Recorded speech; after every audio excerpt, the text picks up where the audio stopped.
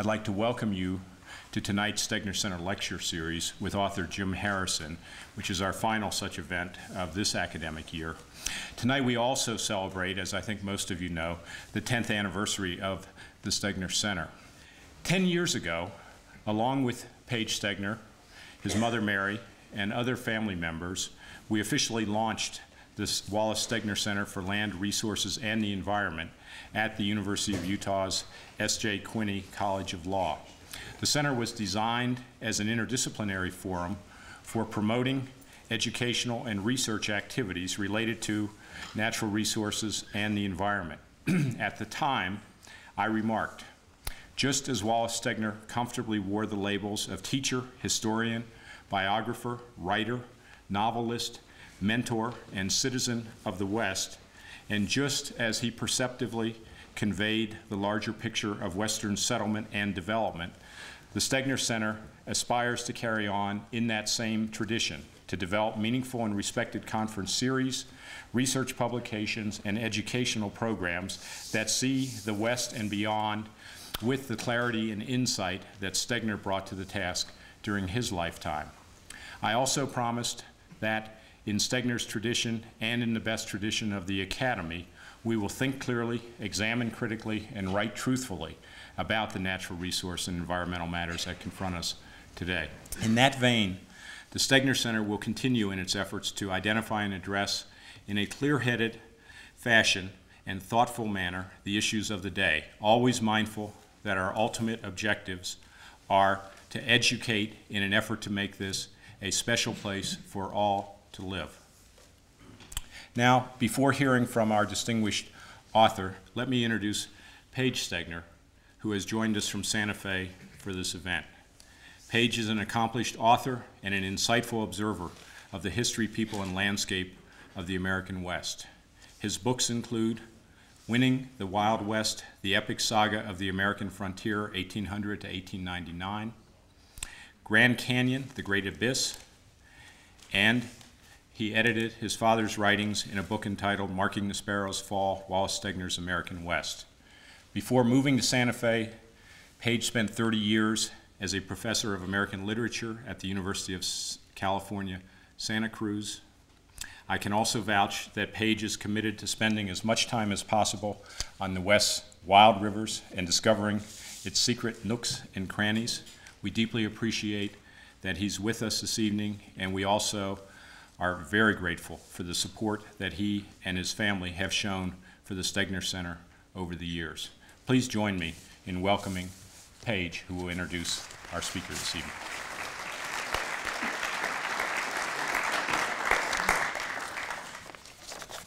Thank you very much, Bob. I should I should uh, point out that my uh, title, Winning the Wild West, was a publisher's title. I wanted to call it Losing the Wild West, but uh, I was vetoed. Tonight, in honor of its 10th anniversary, the center brings uh, us another celebrated American writer, a man who wears so many literary hats it's no hard to know where to begin. Jim Harrison, as I'm sure most of you are already aware, is the author of at least a dozen novels and novella collections nine or ten volumes of poetry, innumerable essays on food, travel, nature, fishing, hunting, literature. I don't know how many screenplays you've written, Jim, but I reckon more than a few. I'd rather not think about it. well, one included his, his own book, Legends of the Fall.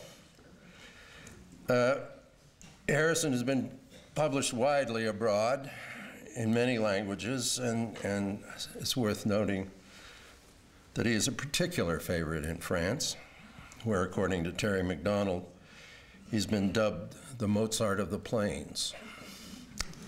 That's a very cool attribution. I, uh, no matter what it means, I, I, I actually have no idea what it means, but it's very cool, Jim. Here at home, he's been called everything from raunchy to swaggering to on the short list of American literary masters. His appetite for nonconformity, uh, both personal and professional, is a frequent focus of reviewers and critics of his work, to which I think his generic response has been, uh, I don't want to be limited to the main subject matter of white middle-class novelists in America, which is nifty guys at loose ends. so it gives me great pleasure uh, to present a nifty guy whose remarkable productivity and accomplishments over the years suggests, at least to me, a man who has been anything but at loose ends. Jim Harrison.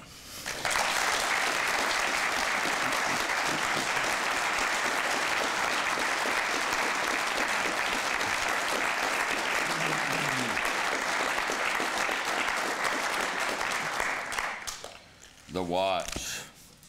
My father told me early that we have time so everybody doesn't die in the same day. This is a kind of Swedish, you know, encouraging words I heard as a child. Oh, that's why we have time. Huh. Which is a good point, I suppose. I was not sure whether I should be intimidated by coming here or not. I, uh, I do. Uh, I don't like to go out in public much, so I do three, three perform, performances, appearances a year, mostly to pay for my uh, uh, guide fees of fishing because I can't wade certain rivers anymore. I couldn't even earlier, you know. Uh, I was always a little upset. My father was an agronomist, county agent, a designer of uh, watersheds to be restored, depleted watersheds. The first thing I remember that way, the first funeral is uh, his secretary's husband drowned in the Pine River when he was swept under a, uh, uh, a log jam. You know, certainly happens in the Yellowstone too. So I was, a little nervous about waiting, but the idea of going out in public and therefore affording a cut rate guide 60 days of fishing a year seems to be worth the trade. I'm a little leery of uh, these kind of uh, appearances because I remember in my scant two years in academic life. This was at Stony Brook State University system in New York when it was a fancy place back in the 60s. I remember going to an academic senate meeting and uh, thinking, and we had a lot of brilliant people there, you know, a half dozen Nobel laureates. It was a little miniature Berkeley in the East. But I realized after two hours of an academic Senate meeting, nothing that was said was causally related to any reality I knew outside the academic Senate. Because this was the 60s and I was getting uh, called by the president of the university even during my naps, which my wife would not wake me up from because I needed to write in the evening. So she would be able to tell the president of the university, he's sleeping now. but anyway, he'd say, Your students are causing problems. But I had a functional sort of low class knowledge so that when my students took over the administration building, the dean and the president got me over there. I said, This is easy. We go over to the power plant and turn off the heat. and we turn off the phone service too, so they can't call their friends in France or Germany. So it's winter, and we'll just freeze them out. And they looked at me, how astonishing. I was thinking today on the way to the airport, I don't have anything to offer you except more questions. But all environmental issues reminded me somehow as a paradigm of a severely compromised marriage where you have to stay together for your not for the sake of your nine children who are all mentally and physically ill. I know this is not very encouraging, but this is this is how it happens, not just in the West and the East. And then I was recalling what the legal profession could do for you, and I became sort of a fan because. Uh, I had this situation in northern Michigan where the county, with the permission of the Department of Natural Resources, usually, you know, as you know, the government is often the, the malefactor, to put it mildly. Anyway, they were going to dredge this beautiful channel between two lakes, which were the spawning beds of of uh, brown trout and uh, whitefish and so on. It was a large, long estuarine area, and they needed to dredge it, they said, so boats could comfortably pass between these two rather pristine lakes. So uh, I sued to stop this uh, dredging. And I thought, I have some ill got gains from Hollywood at this period of my life you know, I mean, some bucks. So what I did, at the advice of a friend who is an environmental lawyer who stopped him from dumping taconite tailings into Lake Superior, real sharp guy, Jim Olsa, he says, you know, it's going to be a tough one. So here's what we did. We dedicated some uh, funds, as I say, ill-got gains from Warner Brothers, and hired uh, the right wing law firm in town, the rich people's law firm. Well, it was their first environmental case ever, ever. and they thought, since I got my picture in the paper and they knew they were going to get their money, why not? So we won. So thus we saved the estuarine area. And the singular satisfaction of the whole case, you'll be amused by, is that I was abused in the newspapers, and I thought by the County Board of Commissioners. And what was fun is to write a letter to the newspaper saying, I can legally recover my fees from the county, my legal fees, which are considerable. And if one of these bumwads say one more thing, you're going to have to cough up 50 grand. So nobody said anything again. so I won. I think about all in terms of love amongst the ruins. You know, what what do we have left? What, I what do we have left that we want to speak, pay special attention to because we have to concentrate our energies? And I talked to, uh, I'd gotten a note from Jan Nystrom saying that, you know, don't talk about your work and food. And I thought, well, raw and the cooked. That's sort of nature. We're nature too, as even Shakespeare said, we're nature too. And I thought too, there is an environmental aspect to this uh, 37 course lunch I had in France last fall. and it took 12 hours, 19 wines. You know, it was something well deserved, but. Uh, uh, the environmental aspect is that I seriously thought in the morning, are the 12 of us trying the sewage system of this little French village? are we perhaps pushing into the limits? Okay. Uh, eating is natural. I was doing, uh, there's a uh, Michael Ondaatje is a fantastic uh, Canadian novelist, has a magazine that I write through, uh, write for, uh, for this reason. Uh, when I said it's obvious to all Americans it's altogether natural to eat yourself to death. It must be natural because we're doing it. And I says, it takes us time, like It took ancient man, perhaps centuries, not to learn, to learn not to eat blue meat because there were no survivors. I even tried it myself in Africa and was quite ill. But what I thought I would uh, talk about is my own exposure and the questions that arose. Uh, I'll read a poem called Walking,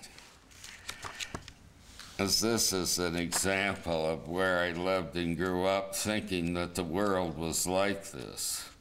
The world was like this. Walking back on a chill morning past Kilmer's Lake into the first broad gully, down its trough and over a ridge of poplar, scrub oak, and into a larger gully, walking into the slow, fresh warmth of mid morning to Spider Lake, where I drank at a small spring remembered from 10 years back. Walking northwest two miles where another gully opened, seeing a stump on a knoll where my father stood one deer season, and tiring of sleet and cold, burned a pine stump, the snow gathering fire orange on a dull day. Walking past charred stumps blackened by the 1881 fire to a great hollow stump near a basswood swale.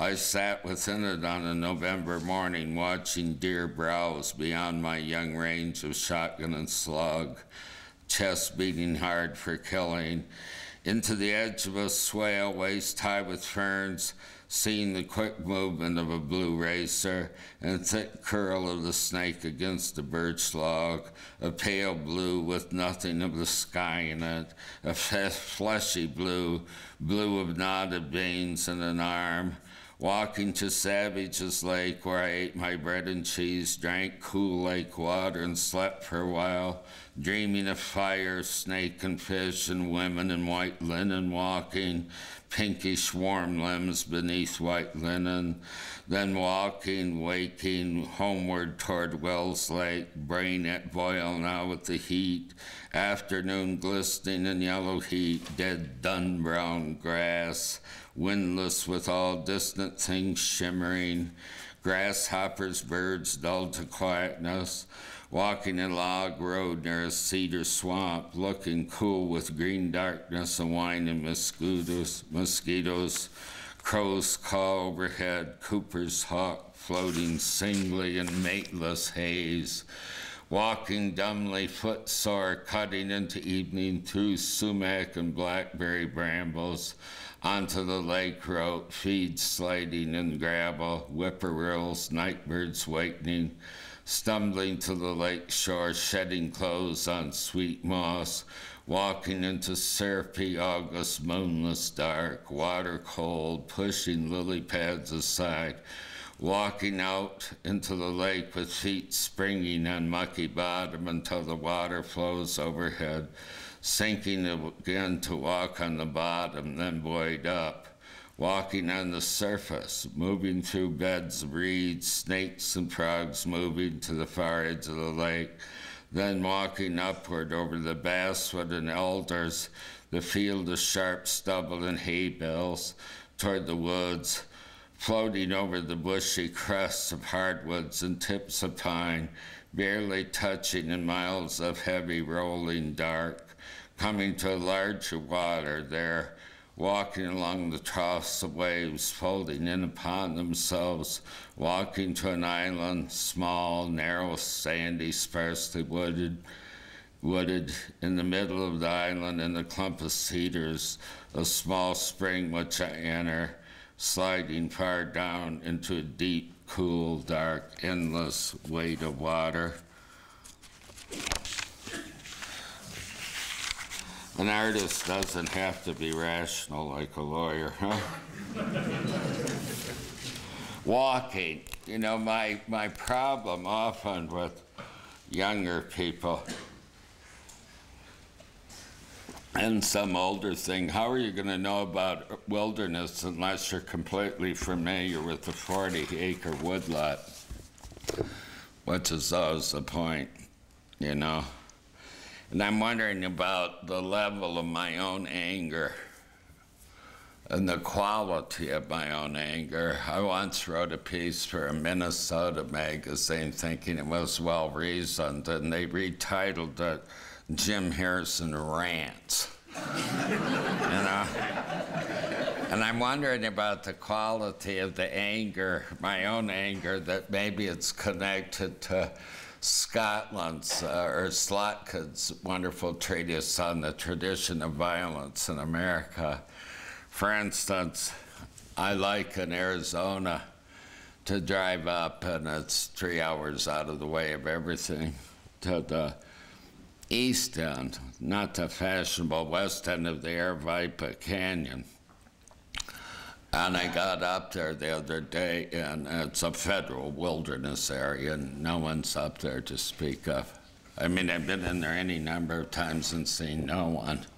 This gorgeous canyon with two creeks conjoining and an improbable amount of bird life.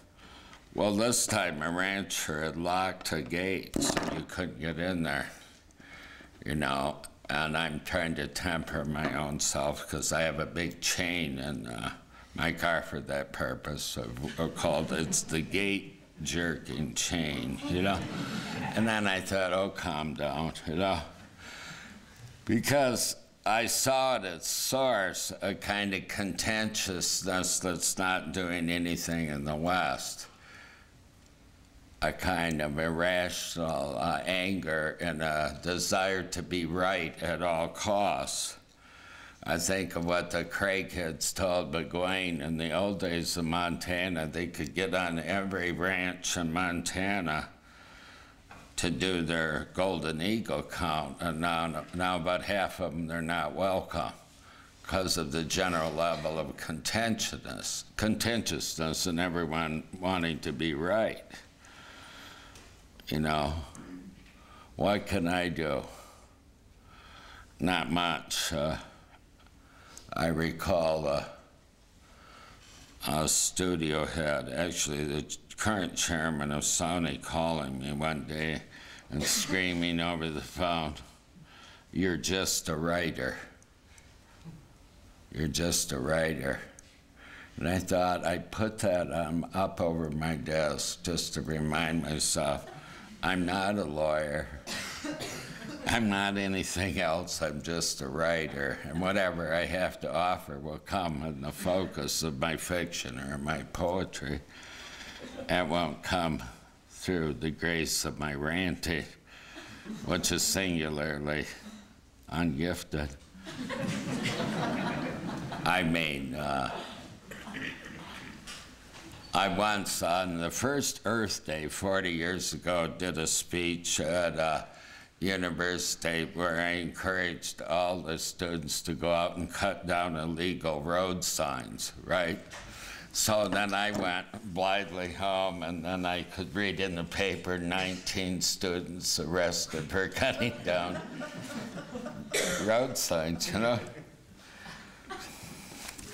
And I was quite comfortable. uh, here's one. The other day, here's a, you get in extremis at times. I got a tally counter. You know how people count cows, keep track of what they got? Because I was uh, a little out of shape during different, due to different pressures, and I got this tally counter, and I was just keeping track of how many birds of different varieties I saw, sort of my own personal phenology. And I recalled, and I thought you might enjoy, I wrote a poem quite a while ago called Counting Birds. As a child, fresh out of the hospital, with tape covering the left side of my face, I began to count birds. At age 50, the sum total is precise and astonishing, my only secret. Some men count women or the cars they've owned, their shirts, long sleeve and short sleeve, or shoes, but I have my birds, excluding, of course, those extraordinary days, the 21,000 snow geese and sandhill cranes at the Bosque del Apache, the sky blinded by great frigate birds in the Pacific off Anconcito, Ecuador, the 21,000 pink flamingos in Ngorongoro Crater in Tanzania, the vast flock of seabirds on the Seri coast of the Sea of Cortez down in Sonora that left at nightfall, then reappeared, resuming their exact positions at dawn. The 1,000 cliff swallows nesting in the sand cliffs of Pyramid Point, their small round burrows like eyes, really the souls of the Anasazi who flew here a thousand years ago to await the coming of the Manitou and then there were the usual almost deadly birds of the soul. The crow with silver harness, harness I rode one night as if she were a black feathered angel. The birds I became to escape unfortunate circumstances. How the skin ached as the feathers shot out toward light. The thousand birds the dogs helped me shoot to become a bird grouse, woodcock, duck, dove, snipe, pheasant, prairie chicken. On my deathbed, I'll write this secret number on a slip of paper and pass it to my wife and two daughters. It will be a hot evening in late June, and they might be glancing out the window at the thunderstorm's approach from the west. Looking past their eyes and a dead fly on the window screen, I'll wonder if there's a bird waiting for me in the onrushing clouds. Oh, birds, I'll sing to myself, you carried me along on this bloody voyage. Carry me now into that cloud, into the marvel of this final night. More questions. I was in Paris uh, last November, and I got a call from my wife from Montana and I thought, this is odd. Why is she calling? Because it's 5 o'clock, 6 o'clock in the morning at our time. And she thought I'd be interested, and she said, Well, uh, the wolves just killed three more of Bob Weber's sheep right under our bedroom window. I can hear them eating the sheep, and our dog Mary is hiding under the covers because this is muy malo odor, odor, you know? And I was remembering when she said that at my cabin in the UP, where the closest livestock is 100 miles away, because so nothing is a problem up there, that when my dogs would hear a coyote, you know, it was nothing. You know, they bark out the window. But the first time they heard a, a wolf close by, right from the river delta, right below me, maybe 50 yards from the cabin, uh, they very slowly, all three of them filed upstairs and hid under the bed, soundlessly. this is, this is not, this is something in genetic memory. So I thought, God, what is the problem here? Because one gets fearful of uh, social engineering. Why did they have to eat three more of Bob Weber's sheep, which means a total of 33 that they've eaten? Now, it's painful when there's so many qualifying measures here. Everything breaks through everyone's sentiment about being right and wrong. Number one, they evidently were forced out of the, the Lone Bear group, were forced out of the Lamar pack the year before, you know, when the pack got too big. But seven of, I think, the nine that finally had to be destroyed had mange. This is interesting. It's November. In fact, the morning I left for Paris, it was eight below. So, in other words, the truth, the actuality of the matter wasn't very reassuring to the pro-wolf or anti-wolf forces in Yellowstone Valley. Nothing was clear cut. Well, if I had mange and lost my fur, the first thing I would do is jump a sheep, you know. I mean, anybody would. So now, what do we? Now, what do we do with this confusing truth? Then I got irked at this people, at these people from Bozeman, saying, "Well, we're paying for Bob's sheep." And then I realized they don't know that uh, sheep aren't generic any more than cows or people aren't generic. Bob's had this, uh, bred these, this line of sheep for 50 years. You can't buy seven more sheep to go with his sheep. This isn't the way sheep are, you know. So that was the problem, as were the young people that came over and tied 10,000 unsuccessful red ribbons on his fence, which they assured would keep the wolves away. No. So we're thinking about this guy's 80. So the federal government finally told this 80 year old man he could shoot the wolves if they ate any more sheep, you know, which is not too easy on Bob, you know, because he doesn't see too good, as he said. so, what I'm saying, the easy answers aren't there.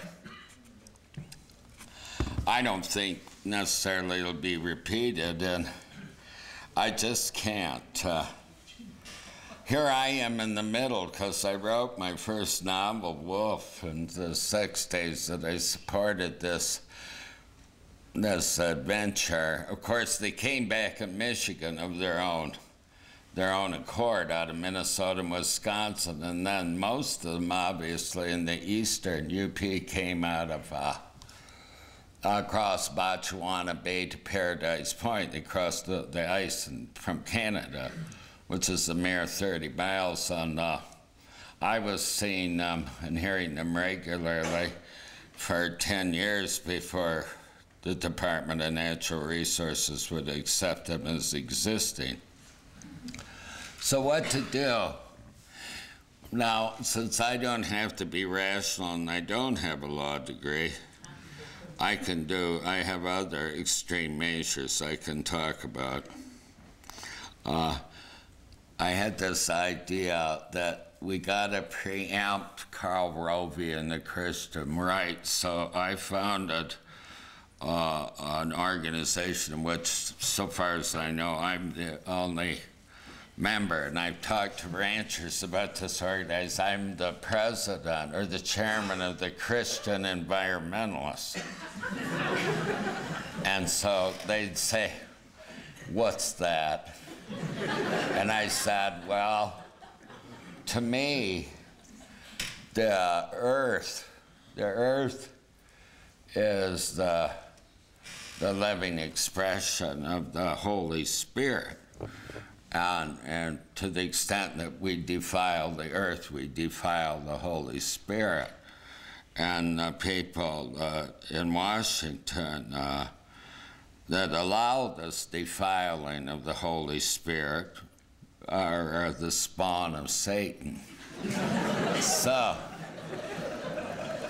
the sharp ones know uh, immediately I've done a little end run.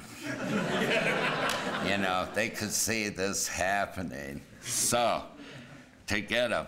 And then I was utterly startled the other day in the newspaper that I don't know what's happening, but there's a group of evangelical ministers that have formed that are, are very concerned with global warming.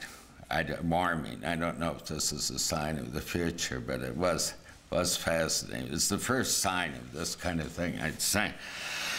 But anyone that wants to be a member of the Christian Environmentalists, because it's a lot of fun, all you have to do is take a penny and throw it in a lake somewhere, and then you're a member. What you have in Utah is not different than what you had in Michigan and other places, and I want to address this. On the theme Love Amongst the Ruins. This True North I wrote was published last summer. I was out in an area of, uh, this is a long time ago. I usually think of my novels and let them brood around for about 15 years. With a poet, Dan Gerber, and we were on the Kingston Plains in the Upper Peninsula where you see a much photographed uh, area of, uh, of about 20,000 acres of white pine stumps. And the white the big stumps survived because, of course, the plains are aerated, so they didn't rot like much does in the Michigan forest. So Daniel, whose uh, family made baby food, which is relatively benign, he says, "I'm sure my, I'm glad my grandpa did didn't do this." You know, you know, you look at these stumps and you realize that with the in the Hartwick Pines and the McCormick Tract, there may be a couple hundred acres of virgin timber left, and everything else was cut. Seven million acres of virgin lumber timber was cut, every bit of it, mind you. Nothing was missed. Oh, you'll see in a steep gorge is a stray tree alive. So I started thinking about this novel. What, what if you were a young man of conscience and you realized that uh, it was your family that led the charge on this, that your own predatory family, beginning with your great grandfather. But once I researched it, I wasn't totally surprised, but a little bit to see, as I had thought of and suggested at a Wyoming conference that Terry Tempest Williams had 15 years ago when no one ever wanted to talk about it, that there really is a theocracy behind uh, land rape. It's again what Elaine Pagels talks about the dark side of Christianity, you know, to start wars to take everything you want in the name of uh, the Father, the Son, and the Holy Ghost. Because I've come upon these passages in my research, the journals of the first timberman, wonderful passages like, with God's help, with the Almighty's help, I'll cut that 30,000 acres before Ralph Felch gets here, you know, another timber. Isn't this amazing? And Ralph Felch, in fact, was a predator too, and he named adjoining towns one Ralph and one Felch, you know. but this, there's no limit to this kind of theocratic feeling that uh, many of our forefathers had for their uh, worst designs of greed, which we might wonder if greed and venality aren't the dominant energies of our time. Well, they were in the 19th century, too. So, anyway, I have a young man dealing with his ancestors. What's left? What's left? And I have him getting lost, which is infinitely possible in the UP because unlike out west here, you can never see where you're going, or very rarely. You know, you can climb a tree, and from the top of that tree, you can see the tops of other trees. you don't have you don't have this marvelous help of elevation, you know. Although still people get lost out here. It's interesting how it's possible. But anyway, uh, his uh, pup runs off. But here's an example of this young man and what happened to uh, him. I'd been inattentive when I awoke. I wasn't sure in what direction the cabin lay. I'd always been careful about directions when trout fishing in near wilderness because there was always the possibility of becoming fatally lost in the upper peninsula, though this mostly happened during an especially cold deer season in November or to snowmobilers who ran out of gas. I wasn't fearful when I struck out in what turned out to be the wrong direction, but I knew there could be the possibility of discomfort. My jacket with the compass was back at the cabin, and I had only a jackknife and no matches. Even my pocket watch was in the jacket pocket. You can keep a fairly steady heading with a watch if the sun is visible. It was a coolish June mid morning, but I had a good 12 hours of daylight in front of me at this latitude. I looked in vain in the immediate area for any ferns I may have broken when I came to retrieve Carla, his dog, his pup ran off. The biggest problem for those lost in the Upper Peninsula is the density of the foliage in some areas. You are literally without a point of view except that offered by the sun, which you must remember is moving. After an hour it had become unpleasant. My bug dope was also back at the cabin in my jacket pocket. Carla, his pup, was tired, so I had to carry her. She couldn't have weighed more than 20 pounds, but she was ungainly. She may also have sensed my worry and wiggled a lot. I couldn't seem to get out of a low bog area, which made the mosquitoes and black flies worse.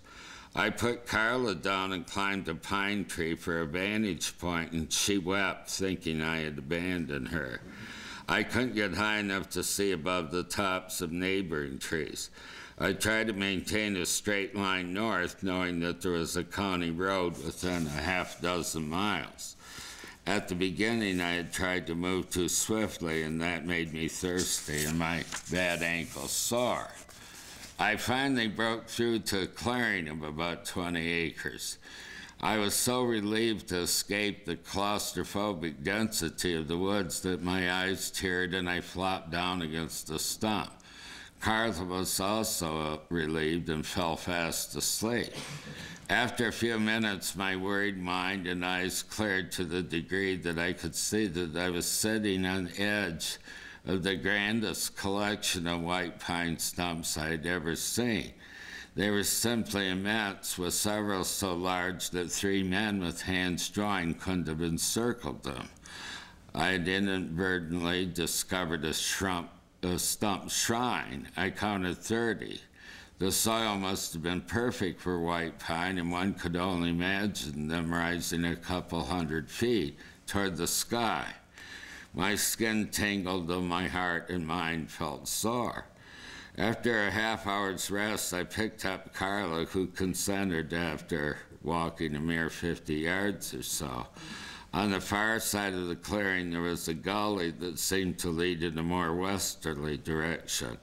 I knew that the sun was furthest north at this, this close to the solstice, and the gully pointed toward downward drainage, so that it had finally to lead toward a creek or the river from which I had departed. I turned around, stood there a full ten minutes, my enervation and fatigue now gone until I could imagine again what this patch of forest had looked like. I can't say how, but the massive stumps now seemed alive and reassured me that my work had a great deal of meaning. My ankle still hurt, but the ache seemed as insignificant as a mosquito bite. Scarcely a hundred yards down the slow pitch of the gully, I came upon a stunning surprise. There before me was the largest of all white pine stumps, the great mother of stumps straddling the gully like a 10 ton spider, supported by roots so massive I couldn't get my arms around the roots. I had put Carla down. She had scurried around to the other side, sniffing the ground. Suddenly, she was inside the stump, and I was looking down at her through an opening between two contorted roots. There was a slice of sunlight shining down on her face, and she regarded me gravely. I scrambled around to the other side, and there was an opening large enough to crawl in, and I joined Carla. It was sufficiently high enough for me to sit up straight, and there was light to see the ground, which was a mixture of cool, cool sand and gravel. Carla was shivering in fear, but I knew it was the scats on the ground left probably by a bobcat and coyotes and a larger piece of dried fecal matter that was likely from a bear. I was enthralled, and there was a distinct feeling similar to when I had been baptized. I thought that this was as close as I could to come to finding a church for myself in our time. So, love amongst the ruins. Where do we turn for help? That's the question. It occurred to me in the last election how much can be extrapolated? I was thinking if Bush is most familiar with Midland, you know, and Bar Harbor, and Kerry is Bostonian who goes to France, where does that leave us?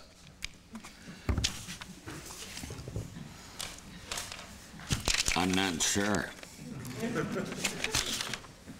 As our xenophobia is so deep, you can't extrapolate one part of the country from another. I was shocked when a uh, uh, Senate Republican came to Nogales the other day because that's the first national politician I know that's actually come down to look at the border other than our local things.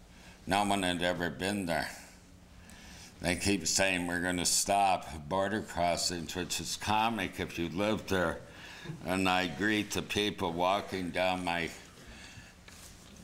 my creek uh, gully. I said, you know, all uh, stuff like that. And they asked me, they're from Chiapas, and they say, where's Chicago? and, uh, who's stopping who? 600,000 successfully crossed. And the only measure that works, of course, is if you'd make those that hired them responsible. But this is slave labor. This is minimum wage. Five bucks and 15 cents an hour. You know, nobody wants it. Does it cripple us? Here's another question. Does it cripple us to know what we know? In the Upper Peninsula, the trouble with knowledge. I'm my parents' child. My mother is really a profound amateur naturalist that literally knew hundreds of birds just from their calls. She had cataracts a long time. Any American warbler, any bird, you know, in those foggy old eyes, she could tell you what it was. She could tell you any weed by its odor, that kind of thing. My father, an agronomist too, and their son, an often profligate, misbehaved poet, but I did inherit something of them. But what do we know? I read the account of Louis Agassiz to the Upper Peninsula in the 1850s, you know, before anything happened. And you know, when he got back to Cambridge, Longfellow, of course, read his account and uh, wrote that foul piece of doggerel called Hiawatha. but I read this account of Agassiz on the Douglas Houghton expedition, and I realized, of course, nothing that you see, this is true of Utah, is as it was. It can still be beautiful, but everybody would say in front of my cabin, I stopped correcting them, what a beautiful river, because it was a beautiful river, but I also know it had been mortally gouged by the passage of logs down the river and could never be recovered. That's just like you see on the Empire Ranch, a BLM property of 100,000 that I've had it's been so overgrazed on the hills that all the soil has descended to the bottoms. And so someone would say, well, uh, this can recover. I said, no, it can't. Can't ever recover. This is a mortal wound. How are you gonna, you're gonna take all the soil from the bottom and sprinkle it on top or what?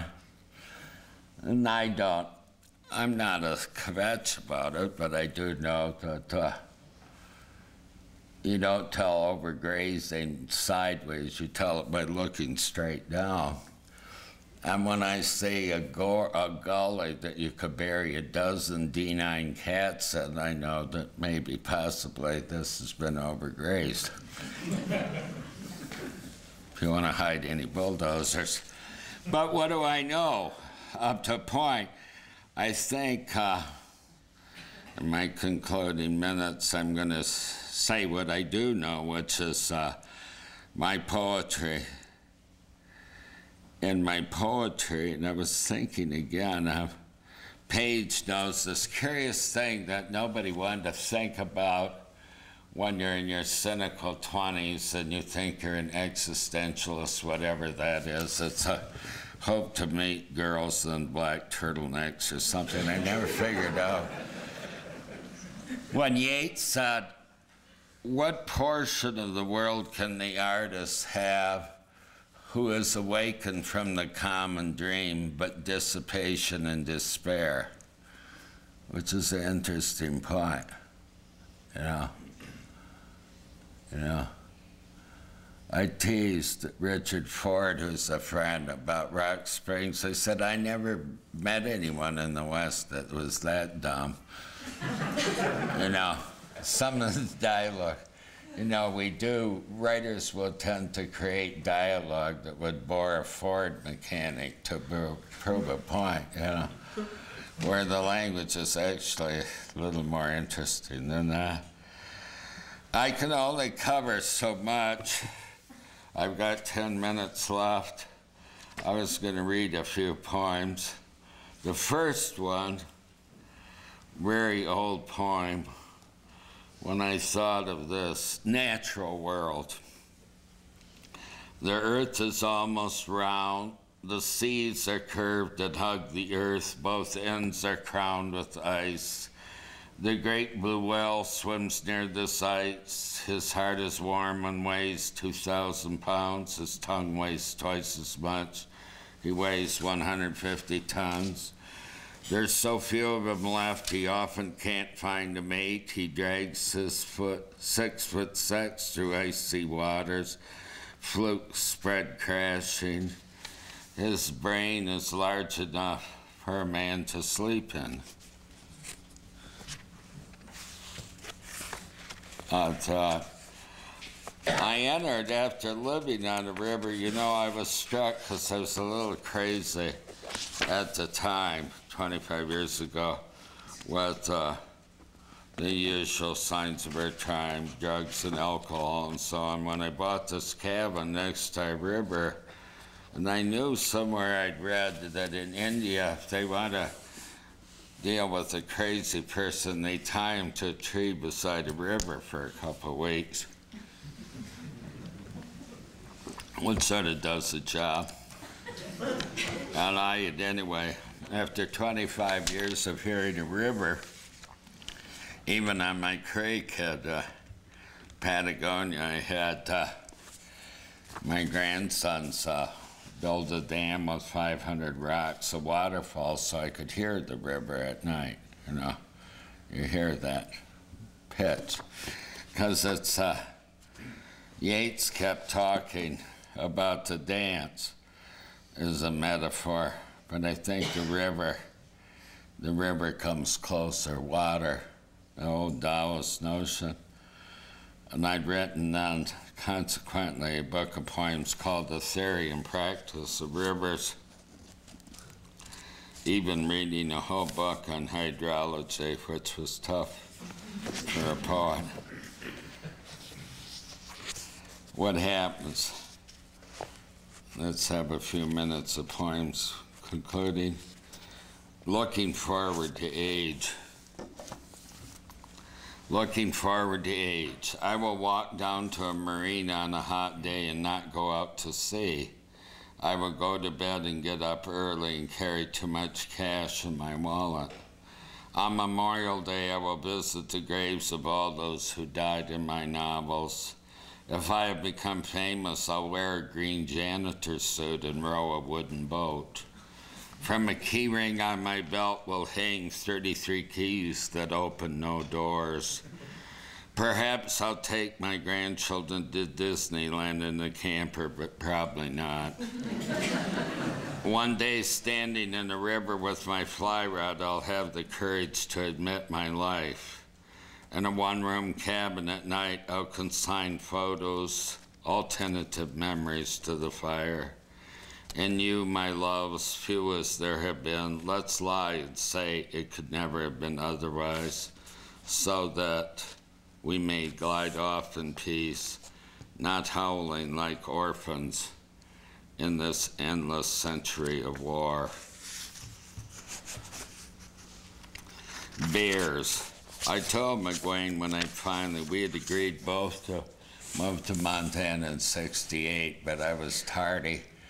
We were fishing when we agreed this, and uh, I told him, please, Tom, when I do finally get this place out west, tell me that I won't have to hear those key Midwestern words, healing enclosure.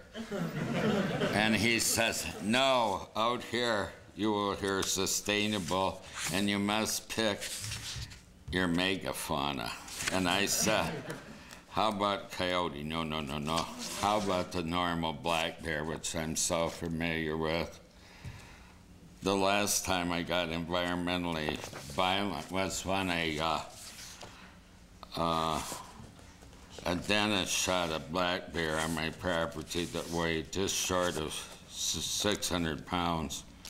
And I'd been so used to this black bear for years that uh, I know you're not supposed to make them pets, but I would leave them fish once in a while, and we'd chat about things. Like Glenn Larson, who used to be able to, on the Quetico Superior, he would put the tracking collars on bear. They would come up, and he would say hello and put them on. The only time I know that he'd give him a donut and put the collar on. but he was. Uh, one of those Scandinavian loonies after 40 years in the woods. The bears thought he was related or something. but this bear would rest its chin on my car. His head would fall up the window, and I don't know what he thought we were talking about. So I got a little out of hand when he went to heaven, you know. Wrote a little poem about him. It's goofy and adolescent and enraged, so I'll read it anyway. Down in the bone mess of the cellar of this farmhouse behind the empty fruit jars, the whole wall swings open to the room where I keep the bear. There's a tunnel to the outside on the far wall that emerges in the lilac grove in the backyard, but she rarely uses it, knowing there's no room around here for a freewheeling bear. She's not a dainty eater, so once a day I shovel shit while she lopes in playful circles. Privately, she likes religion. From the bedroom, I hear her incantatory moans and howls below me. In April 23rd, when I open the car trunk and whistle at midnight, and she shoots up the tunnel almost airborne when she meets the night. We head north, and her growls are less friendly as she scents the forest above the road smell. I released her where I found her as an orphan three years ago, bawling against the dead carcass of her mother. I let her go at the head of the gully leading down to the swamp, jumping free of her snarls and roars. But each October 9th, one day before bear season, she reappears at the cabin, frightening the bird dogs. We embrace ear to ear, her huge head on my shoulder, her breathing like God's. I was down, down in the Yucatan with a guy who even speaks Mayan. He's been down there 35 years. Another goofy Scandinavian from Minnesota and speaks fluent Mayan. we're at this compound, and the Mayans in this jungle compound have a bunch of uh, you know, rather aggressive dogs because they think the Mexicans are stealing from them, which is in fact true sometimes, okay? And, uh, and uh, I got a little way with dogs, and after a few minutes, the guard dogs all have their heads on my lap. Uh, this uh, old mine elder who has his legs cut off from diabetes, he says to me, uh, he's serious. He says, Are you part dog? And I said, Just a little bit. Two generations ago, this guy has a wonderful sense of humor. They drove him to a clinic for his diabetes, and he doesn't have any legs. So they set him out in the yard, and he slumped over under some bushes, and he was there a day and a half before anyone remembered he was out there. And he thinks this is a funny thing, the way white people do things. Can you imagine such a thing? All my life, I've held myself at an undisclosed location. Sometimes I have a roof over my head, but no floor, and sometimes a floor, but no roof. This is the song of a man who wrote songs without music dog songs, river songs, bear songs, bird songs, though they didn't need my help, and many people's songs. The just waking universe returned the favor with spherical carols as if creation hadn't stopped a minute, which it hadn't, as if our songs helped it become itself. We gave no voice to the bear, but watched our minds allow the bear to become a bear. At a brief still point on the whirling earth, we saw both the stars and the ground we walked upon, struggling to recognize each other at noon talked ourselves deaf and blind on the sharp edge of disappearing for reasons we never figured out. I was conceived near a dance hall on a bend of a river. Now, 67 years downstream, I'm singing a water song, not struggling against the ungentle current. And then a final poem. This is a poem uh, I wrote when uh, I was in France, partly. I was supposed to be doing a thing about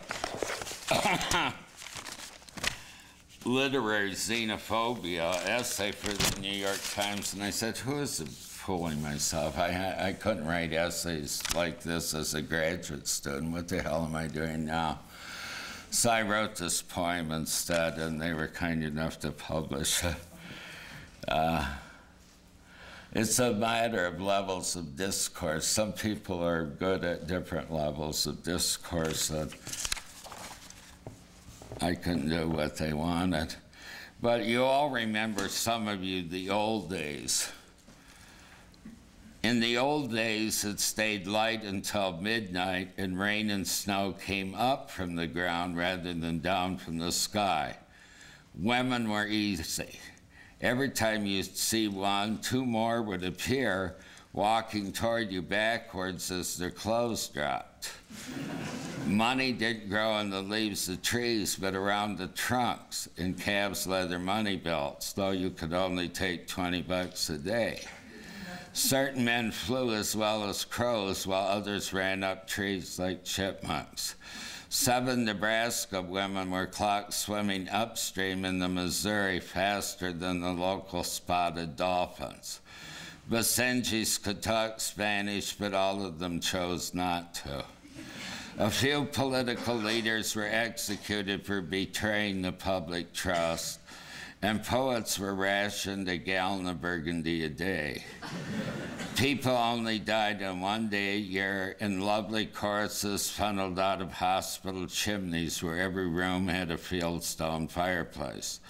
Some fishermen learned to walk on water, and as a boy I trotted down rivers, my fly rod as ready.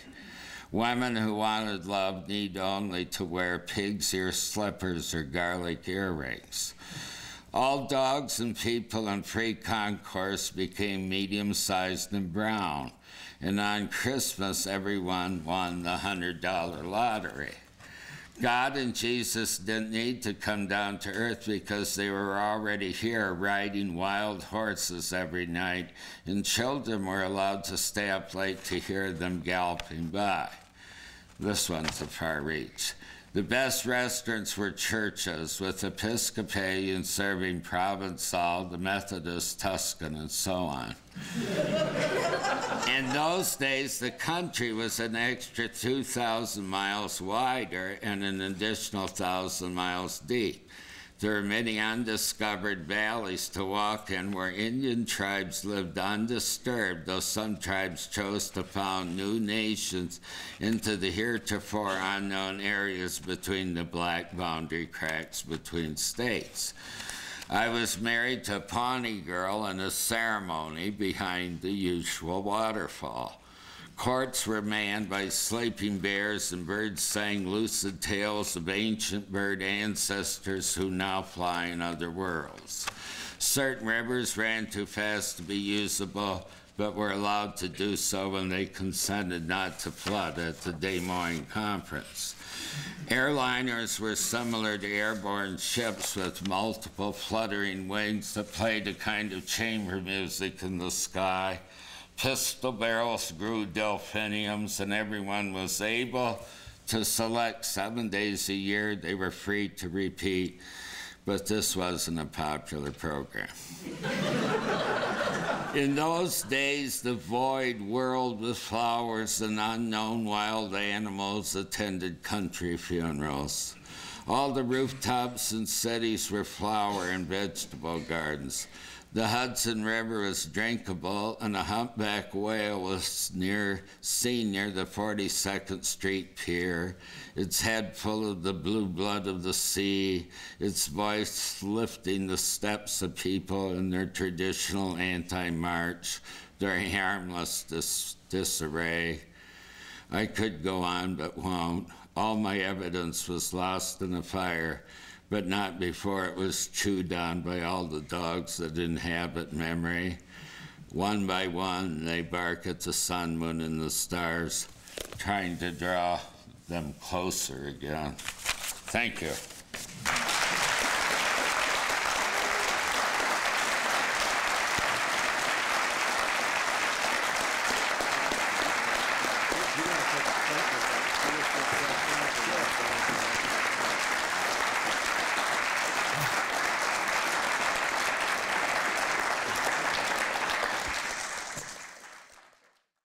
They know everything. Oh, there's a question.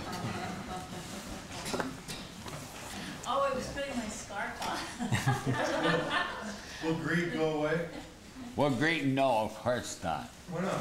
It's the human feel. I get more, you get less. And I don't even know if I got more unless you have less. you know, that's the funny thing. Uh, Doug Wick, a producer I worked with, knew the Reagans really well. And Nancy was always brooding about the cost of her uh, Nicaraguan dishwasher and stuff. You know, I mean, it's impossible. I don't know. You know, that biblical sense of greed. I love this one in the Old Testament. There once was a rich man that owned three horses, two camels, and a granary full of grain. That was a rich guy. Isn't that amazing? But what's enough? Nobody ever seems to know what's enough. You know, will greed go away? I think not. You gonna write about that Indians more?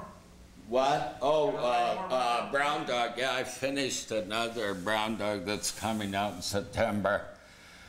I said once to a mind doctor who was trying to help me, and I said, uh, I said, well, he was talking about my work, and I, I, I said, well, Brown Dog is my alter ego, and he says, no, it's closer than that. You know that wonderful feeling you had when you were 22 and you had uh, cut pulp or something, you had $8 so you could have something to eat and eight beers, then you'd fall asleep and do it all over again. and sometimes you would find love. That was a different kind of existence. That was the case of enough. That the, who was uh, John Kenneth Galbraith, said that famous thing, economics. The difference in not having enough and having enough is enormous. The difference between having enough and wanting too much is a whole, a whole other area in question. You know, I don't know what to think about it because I'm not.